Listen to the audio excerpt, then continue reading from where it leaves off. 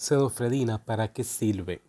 La cedofredina se utiliza para aliviar la congestión nasal ocasionada por los resfriados, las alergias y la fiebre del heno. También se usa para el alivio temporal de la congestión y la presión de los senos paranasales.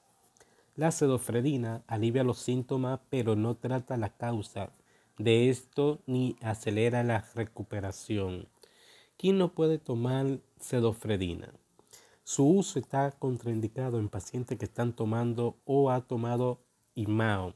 En las segunda últimas semanas, eh, la cedofredina no puede, eh, no puede tomarse tampoco en pacientes antihipertensivos o que sufran de la presión arterial.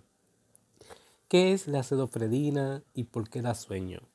Las personas con depresión bipolar deben tener cuidado al tomar cedofredina ya que puede causar insomnio o desencadenar un episodio maniático. ¿Qué medicamento tiene cedofredina? Bisolfren, sinfato, sinfato de congestivo, frenador, gripal, irsinos, intolín pediátricos. Eh, ¿Cómo actúa la cedofredina en el cuerpo? La cedofredina provoca una vasoconstricción de los vasos de resistencias y de capacitancias. La efedrina estimula el sistema nervioso central e incrementa la presión sanguínea mediante la vasoconstricción y el aumento de flujo sanguíneo.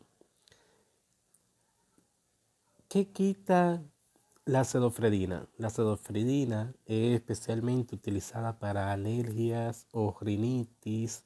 También se utiliza en la sinusitis o en resfriados muy comunes.